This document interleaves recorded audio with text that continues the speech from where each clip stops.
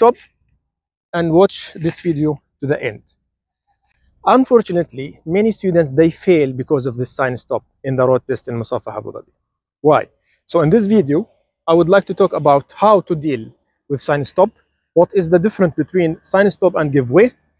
Third, I would like to talk, is there any fine if I didn't stop in the, in the, in the sign stop? Last, what is the special? What is the special about this sign? Okay, and why this sign is very important. First, how to deal with this sign stop.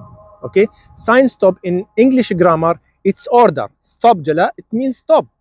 And don't reach a zero speed and then you move. No, you have to wait. You have to stop completely, three seconds, and check left and right, and then again check and then move. Okay, so what is the difference between sign stop and give way? Actually, sign give way, uh, it's also order. Give way, Jala. It means it means slow down, check left, right. If everything is okay, no uh, people is coming or, or vehicles, you can go. But unfortunately, unfortunately, most of the people they deal with the sign stop. It's like give way. No, this is wrong. So the question is: Is there any fine if I didn't stop in sign stop? Non-stop on sign stop, the fine is 500 dirham. Okay. Last, what is the special about this sign?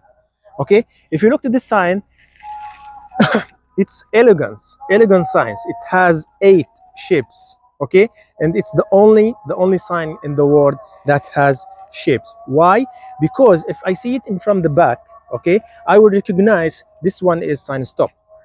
Two it's written inside stop and qif in arabic and english but i don't read both. So i still recognize from the view from the shapes that this sign is stop. That's why this sign is the most important sign in the traffic signs it, okay? Thank you very much.